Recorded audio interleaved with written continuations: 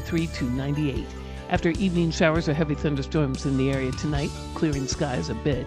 Then tomorrow, a partly sunny start, then afternoon thunderstorms. Wednesday's high 84 to 89. Strong evening thunderstorm tomorrow night. Thursday, partly sunny start, showers and thunderstorms in the afternoon, high 82 to 86. For AccuWeather.com, I'm Sally Sherman.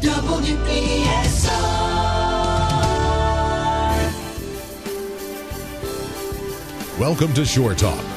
Shore Talk is designed to keep you better informed of what's going on here on Virginia's beautiful Eastern Shore. Now, here's Shore Talk. Time now is 12:38 p.m. and it is time for today's Shore Talk. Joining me from Bayside Chiropractic, also laser and physiotherapy. We're joined today by Dr. Ed Bull as well as Janet Bull, and the topic for today's discussion: the autonomic nervous system. So, welcome, gang. How y'all doing this afternoon? Great. Goodwill. Thank Wonderful. you guys for being here. So, y'all staying cool? summer's finally Trying. here, and I was uh, waiting for spring and waiting for summer so long. I'm not complaining one bit.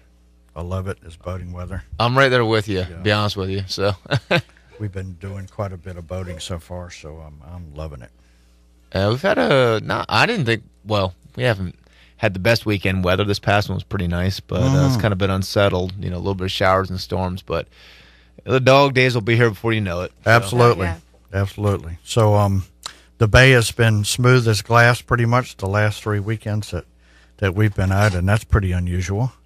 So it's it's been very nice enjoying the beginnings of summer. We really didn't have much of a spring. I think we went from winter and rainy weather kind of right into the summer. So it's been it's been very nice to finally get some warm weather.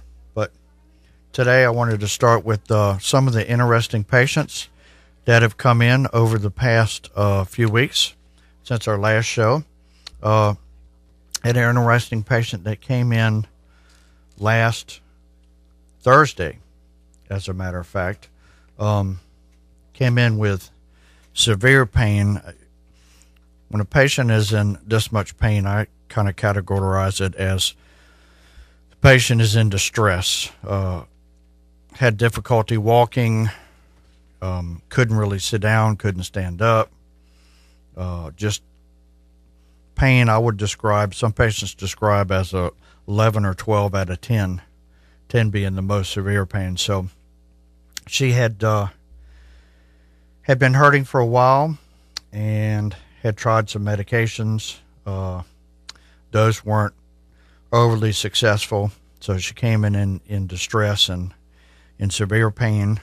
Um, we did some class four laser on her and uh, adjusted her and did a little stretching. And she left probably a half an hour later um, with a pain level of seven out of 10. So the distress factor was settled down somewhat.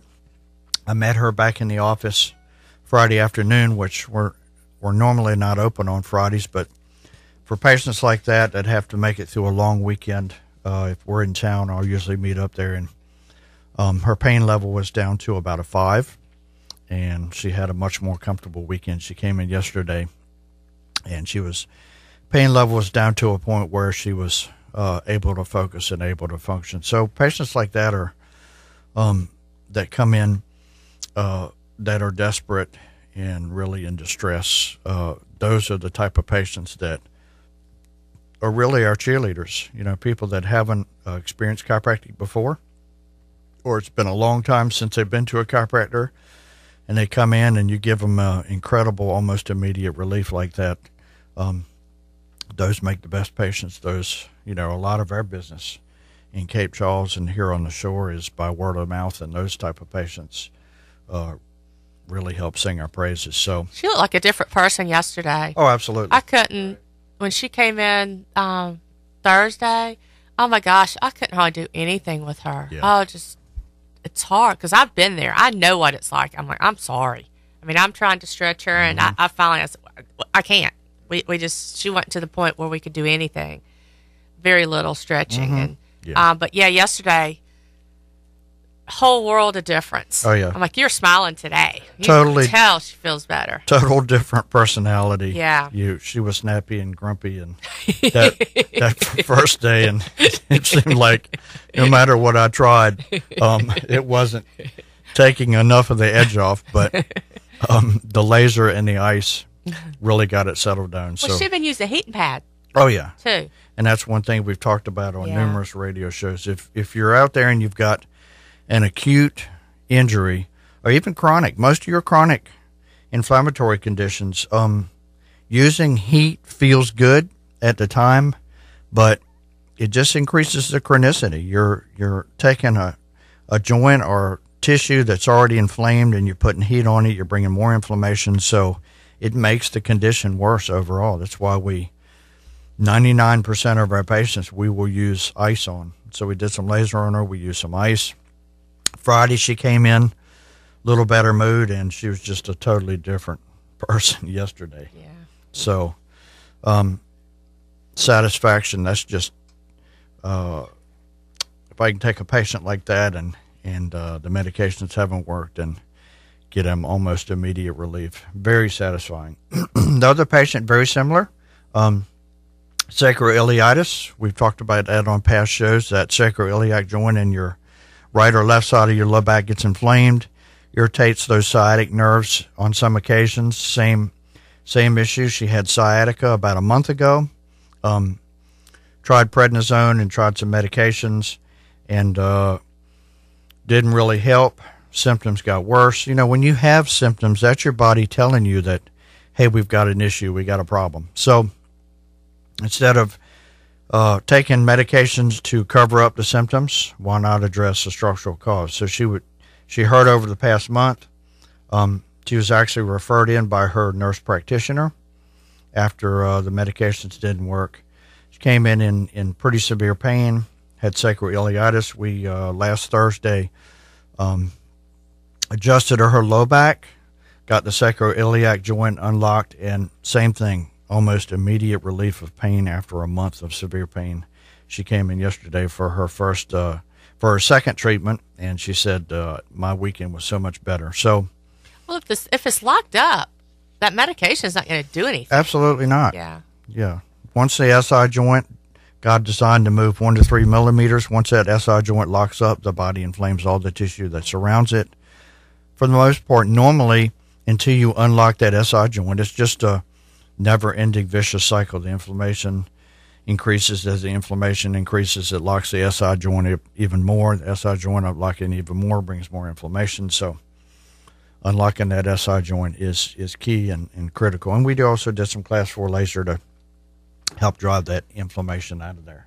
Right. Yeah. So another interesting patient that came in over the past two weeks, a referral from uh, one of our patients and one of our friends that lives down um, a little bit past Oak Hall. So he comes a long way uh, to Cape Charles to get worked on, but we got his uh, his neck and low back moving much better. He told a a friend of his um, that's actually been hurting since 2010. Can you imagine, Will, eight years of issues with your low back, not being able to stand for more than 15 minutes at a time without leg pain and aching and numbness in the feet. So we put him on uh, decompression table. I think we worked on him, what, Janet, this morning was the third trip? Third time. He was last Monday, Tuesday, Yeah.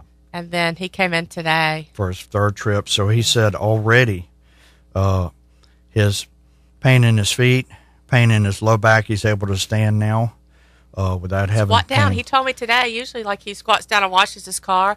He usually has like his tires. He has to get on a stool. He said I squatted right down Yeah, today. see, that's Yeah, that's incredible. And I said those are the little things you just don't Quality of life about. Yeah. issues. So we're doing uh, we're doing some class four laser for his peripheral neuropathy, getting rid of the some of the issues in his feet, and the uh, spinal decompression for the degeneration in his low back. But already on the third visit, a lot of those chronic symptoms for over eight years are decreasing. Another patient, uh, one of our vets that was in Vietnam, had some issues with Agent Orange, also has uh, has help me out here, Janet. I just went blank. Well, he's got Oh, he's peripheral diabetic. neuropathy. Yeah, he's got peripheral neuropathy. Yeah. Uh, he's got lumbar degeneration, um, and he's diabetic. So he's really got the the triple threat there. The uh, three causes of the neuropathy. So severe, significant pain in his low back and uh, very bad balance. So we've worked on him, I think, four or five times at this point. Now he was referred by, I think a surgeon. What was it? The surgeon Yeah. uh, across the bay. Surgeon across the bay. Yeah. um, referred him for some work, and uh, after that first visit, the uh, the symptoms in his low back uh, decreased significantly. He he came in and uh, had difficulty walking more than I would say probably 50 yards uh, because of the the pain in his low back and the weakness in his legs um, and the instability and balance issues. So after I worked on him the first time, I said, I want you to walk. If you come out of our office and you take a right, our office is about two and a half blocks from the beach. So I said, I want you to walk down to the beach and back, test it out. So they were amazed at the improvement just after that first treatment. So now he's walking about three quarters of a mile, and this has been in over the past three weeks. He's increased his ability to walk that kind of distance. So I think we're going to be doing some um, peripheral neuropathy laser treatment on him. We're getting his low back stabilized, uh, and he's actually had some toes amputated. So his diabetes was bad enough that they had already cut a couple toes off. Um, so not only are we going to help his balance and the numbness and his general neuropathy symptoms, but we will eliminate the need to remove any future toes, and that's huge for somebody with diabetes. They just the, the tissue won't heal, and that laser uh, increases circulation, increases cell permeability, increases the body's natural healing processes by about 40 or 50 percent. So there's no doubt in my mind that him not healing is going to be a we're not going to have that as a future issue. Right. So significant uh, results. One more patient that I thought was pretty interesting came in, and uh, his daughter was actually uh, is a physical therapist, and he had some swelling in his wrist, and he said it's been there since uh, since the end of April, and he said I had my daughter check out my wrist, and there was no fracture, but it's you know the the pain and the lack of motion is starting to really become aggravating. So I think we've done what two laser treatments on his wrist. Two, I think. Two, yep. And the uh, inflammation is already settling down. Uh, the motion is improved. The pain is decreased. But the interesting part, um, the cervical spine, his neck was actually what was causing the inflammation in the wrist. So, yeah. So not only are we doing laser on the wrist, but we're also, uh, of course, doing some work on his neck. But that kind of kind of leads us into our topic for today um, the autonomic nervous system. And autonomic nervous system is really um, what we consider the automatic functions of the body that the brain controls through the spinal cord. Now, you have, we talk a lot about the motor and sensory nerves, and that's the, the main part of the nervous system that most people are aware of and associate with, and that's muscle movement, muscle control, and then sensation, um, pain, tickling, uh, touch, sensitivity.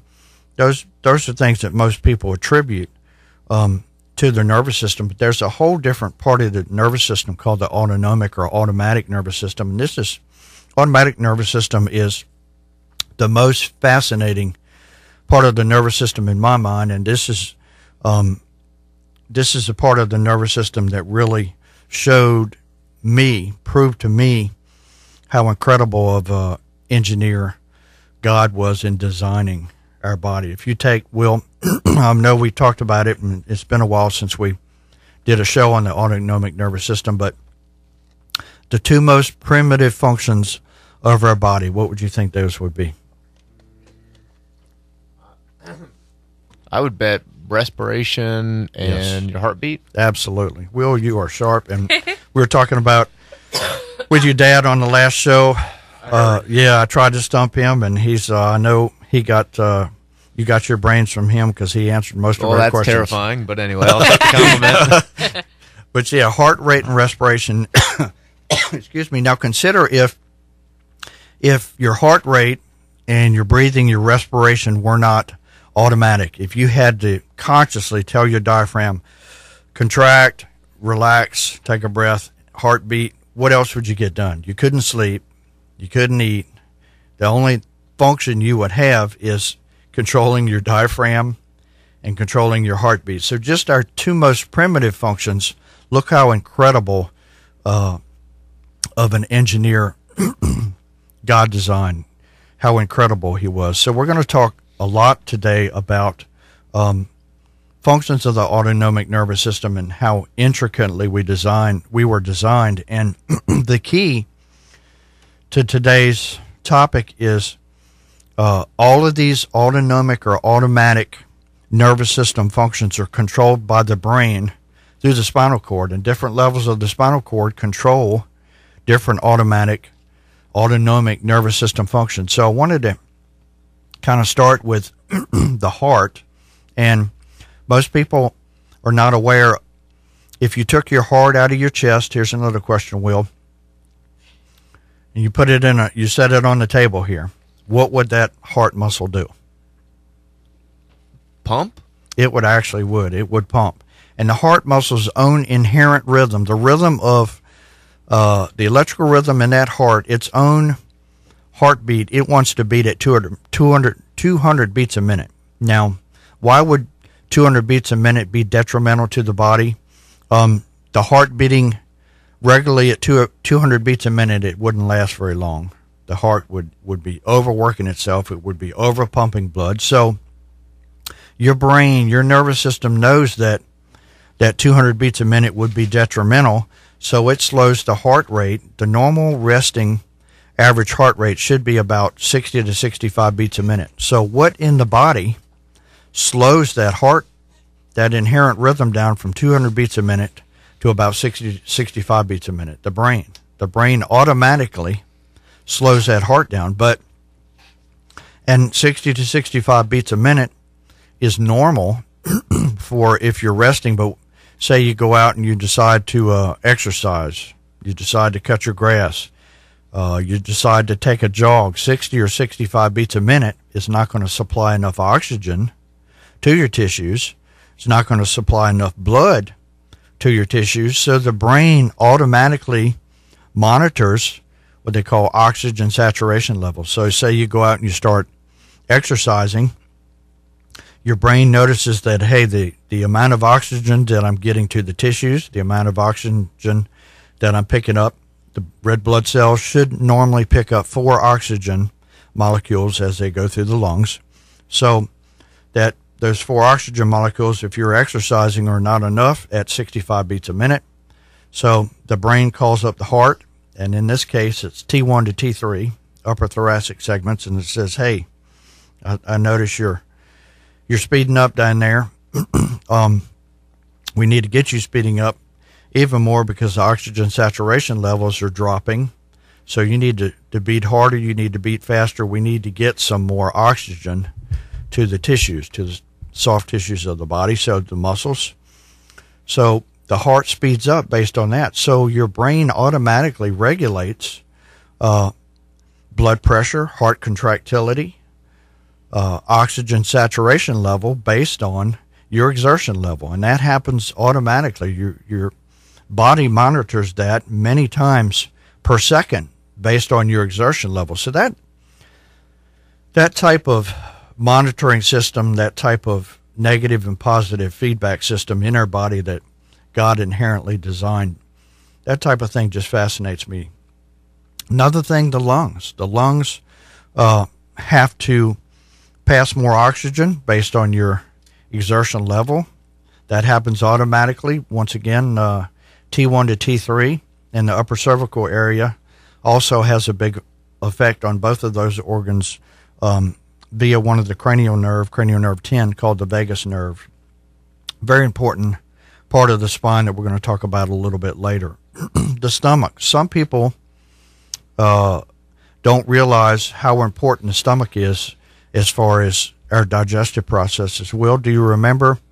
Um, stomach produces a, hydrochloric acid, do you remember how strong uh, the pH level is of that stomach acid? No, I do not. It's a- I'll be entirely honest It's with you. it's a two, and just to give you an idea, uh, water has a pH of seven. pH of six is ten times stronger than seven. Five is a hundred times stronger. Four is a thousand times stronger. So think about how strong stomach acid at a pH of two is. Your stomach produces acid based on uh, automatically based on the amount of protein that you take in. So a stomach acid at a level of pH level of 2 is so strong that every 4 hours on average your stomach produces a new inner cell lining. Just incredible how intricate God designed our body. So based on how much protein you ate, number 1, number 2, did you eat protein? Uh, your your brain should regulate stomach acid production, but if you have a structural misalignment in the spine, then the brain and the stomach can't properly communicate. The stomach will overproduce stomach acid. That would be heartburn or indigestion. It'll underproduce stomach acid. But unfortunately, when patients experience those symptoms, most of them don't seek out a chiropractor. They start on an antacid. So, so now you have uh, like Tums, Prilosec, Rolaids, Zantac. You're taking a uh, antacid that is designed to neutralize stomach acid for a 24 hour period. So, for a 24 hour period, you have little to no protein digestion on a molecular level. Um, and this really aggravates uh, systemic arthritis. Chronic arthritis is greatly aggravated by taking an antacids. If you read the label on most of those, uh, the label says don't take for more than two weeks at a time. And I, we have patients come in that have been on them for years. So, perfect uh, example of uh, how the body can go awry when you have structural misalignments in the spine and it affects that autonomic nervous system. Just fascinating stuff. Um, the liver, liver, very interesting organ. The liver is responsible for filtering the blood. The liver also produces most of our digestive enzymes. People with a lot of chronic uh, digestive issues um, have issues with their liver. Patients that are on uh, cholesterol medications, statin drugs, very harmful to your liver. That's why they check your liver enzymes at least twice a year if you're on a statin medication to make sure they're they're not damaging your liver. And we've we've talked on previous shows about um, the limited benefits of your statin medications, particularly if your cholesterol level is 250 or less. It only decreases your risks of uh, having heart issues, uh, heart attack, having a stroke by one and a half percent, 1.5 percent.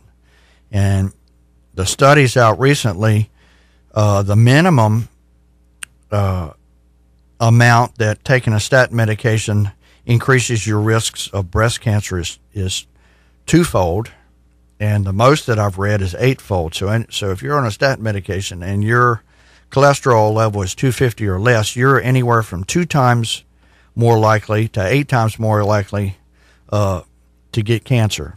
So, what I've recommended on previous shows, uh, Paleocardiologist by Dr. Dr. Jack Wolfson. I recommend most of my most of my patients get it. Um, buy the book, go on Amazon, educate yourself about a lot of the medication that you're taking and is it beneficial or not. Now, I'll say, I'll be one of the first ones to say if you've got blood pressure issues, uh, you need to be on blood pressure medication. But a lot of the other medications out there, um, a lot of times the side effects are more detrimental than having the disorder that you're taking the medication for. So, getting back to liver, minimum functions per second. Will, we've talked about this on previous shows. Um, do you remember what do you think the minimum amount of functions per second the liver is involved in? This is incredible.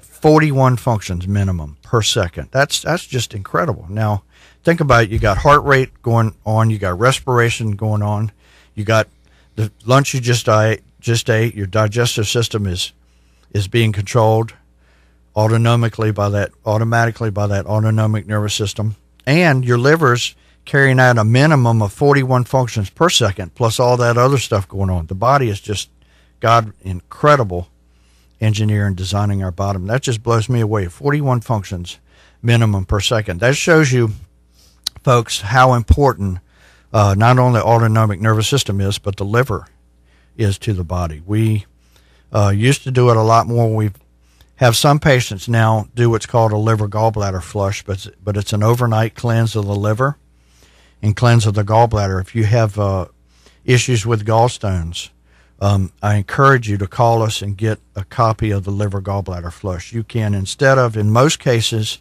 instead of getting your gallbladder removed, you can do that flush. My mom was having gallbladder attacks pretty severely. They wanted her to have her gallbladder removed. She called me up. That's when she was still a pharmacist here on the shore, and we were practicing in South Carolina. She called me up and said, "Hey, I want you to fax me." That was back when fax machines were around. I want you to fax me a copy of that liver gallbladder flush. So she did the flush. Uh, she did it overnight. No more issues with the gallbladder, so they didn't have to do the gallbladder removal surgery. So, liver very important uh, part of the autonomic nervous system organs that that are innervated by the autonomic nervous system. Another important uh, organ that's controlled by uh, autonomic nervous system is the kidneys and the adrenal glands. Now, everybody nowadays, uh, their adrenal glands are overtaxed, overworked, uh, zapped out by stress. You know, our, our adrenal glands are fight or flight response. Uh, thousands of years ago, if we uh, were getting chased or attacked by an animal, we had to decide very quickly uh, whether we were going to fight or whether we were going to run. And the adrenal glands, whether you got to fight or whether you got to run, they immediately cut off blood supply to your internal organs, and they they route that blood supply to your muscles so that you can fight or you can run. Well, stress also activates those adrenal glands. It um, overtaxes the adrenal glands. You're cutting off blood supply uh, to your internal organs, which affects the overall health of the internal organs. Uh, it also causes cortisol production, so you're going to store more fat because of the cortisol production. But those adrenal glands are innervated by that autonomic nervous system. Very important. Male and female organ functions, the bladder. So think about all the organ functions uh, that are controlled automatically by that autonomic nervous system. Another one that I thought about this morning. Um, think about the intricate processes will involved with um, when a female gets pregnant, the, the development of that baby in the uterus, in the womb, all affected by autonomic nervous system control. And this is one of one of the things that I tell our female uh, patients, especially the first pregnancy. If you're under chiropractic care in your first pregnancy, average time in labor is less than two hours under chiropractic care. Average time in labor, not under chiropractic care for your first child, is is over 11 hours.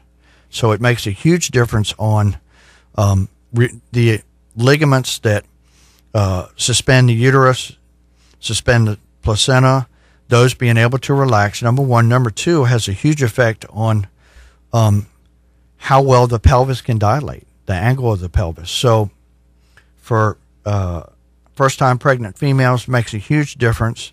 Uh, females with uh, their second or, or more pregnancies, the whole process just goes uh, more easily. There's a reason why we have such a high rate of C-section births in the United States. We've got the highest in the world, and it has to do with uh, lack of exercise, what we eat. Uh, nobody gets adjusted, the stress levels. So you can take a, a natural uh, procedure that giving natural birth, uh, it's a natural thing. Mammals everywhere do it, people everywhere do it, but because of our lifestyle, a lot of times it turns into a crisis, and that's when they have to jump in and do a C-section. So, what if the baby's breech? I'd heard years ago. Absolutely. Someone had told me one of the girls, I guess, in, uh-huh. in our clinic before. Yeah. Um, that her baby was breech. Yeah, there's she'd a- gotten chiropractic care. There's Yeah, a technique for rotating Yeah. for turning a breech baby. right. It's a, a chiropractic adjustment specifically for doing that.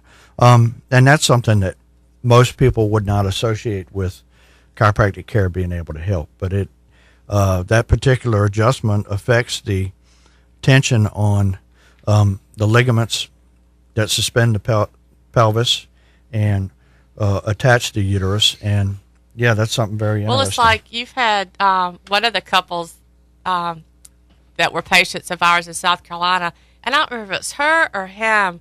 They said, um, "Yeah, Doctor Bull helped me get pregnant," and I just kind of looked at her. yeah, that could be that, and I have guess the expression on my Yeah. face, she's like, "Oh no, I don't mean like that." But just with, I guess, chiropractic and things that you Yeah. were doing, she was having problem with fertility. Right. Yeah. They, were having fertility issues and had had done some of the fertility treatments with with no luck. Um, and it was her. It was her pelvis was uh, innervation to uh, fallopian tubes. Uh, innervation uh, to all the female organs is through. Part of it is through that autonomic nervous system by adjusting her low back, and she had always had issues with her low back. You know, that was her body telling you, "Hey, you've got some structural issues here." So I think I worked on her maybe a month, and about a month later, she got pregnant. So very interesting things that most people would uh, not associate uh, with chiropractic care. Another, I, I got a quick question, if I can. You know, the patient that we have, and her and her mom come in, they're from out of town, and they were here working on the house they were trying to sell. oh and yes, yes, yes, has absolutely. An unusual, Yeah. I can't, has an Uh-huh. unusual condition, and she'll just pass out. She's very sensitive, and Yeah. she'll just pass out. So, her and her mom were in the room with me the other day, and I had my hands on her shoulder, and I was working on her a little bit, lasering her neck, and she just kind of reached back and touched. She's like, "Can you hold off on that just a minute? I think I'm going to pass out," and she did. she So- went out just like I that. mean, quick. Uh-huh. So I just I looked at her mom and I was like, I'll be right back. So I walked in. Ed had a patient. And I was like, um, I need you. He's like, Did she pass out? I was like, Yes. So he said, Start tapping on her. What was it? The side of her. yeah, transverse process Yeah. of atlas, the first vertebra. And I walked in, and her mom was doing that, and Ed walked in with the adjusting tool, and just started doing it, and she popped right out of it immediately. so, um, And I didn't know if that had anything to do with oh, the absolutely. brain and to explain the neurology of that, Yeah. going back to the vagus nerve, cranial Yeah. nerve 10 controls uh, heart rate, controls respiration. Mm-hmm. Um, and it's just a matter of stimulating uh, the brainstem. And within two or three seconds, uh, unbelievable. she was back wide awake. And her mom said most of the time when she has an issue where she pass, passes out, she's out for an hour and a half or more. Yeah. This So- was like, it was seconds. Yeah, that's how dramatic uh, the autonomic nervous system is and how it responds to uh, chiropractic adjustment. And, and getting back to the brainstem, the brainstem has 12 cranial nerves and under autonomic nervous system control, once again, eyesight, smell, taste, uh, hearing, facial muscle control, control of the immune system is in the brainstem. All of those uh, drainage of the ear, all of those factors are controlled by the brain uh, through that spinal cord and specifically through the autonomic nervous system. So hopefully today uh, our listeners got uh, a good understanding of some of the innervation of the autonomic nervous system, how important and how intricate it autonomic nervous system is, and more importantly, um, how good how God designed our body. Don't take uh, your spine, don't take your nervous system for granted. You know, we've got an incredible uh, tool. We've got an incredible body that uh, that God gave us. So take care of it and appreciate it. That's right. Janet, you want to give the contact information for Bayside Chiropractic? Uh, yes, email um, Bayside Chiropractic of CC at gmail.com and uh, telephone 331 1190. All right, that's uh, Janet and Dr. Ed Bull, Bayside Chiropractic. Appreciate you guys stopping by today. Thank Great. you, Thank Will. you, Will. Thank you for listening to Shore Talk. This interview has been recorded and is available on WESR's YouTube page. To schedule a Shore Talk for your community event or organization, call us at 757 787 3200 or email nancy at wesr.net.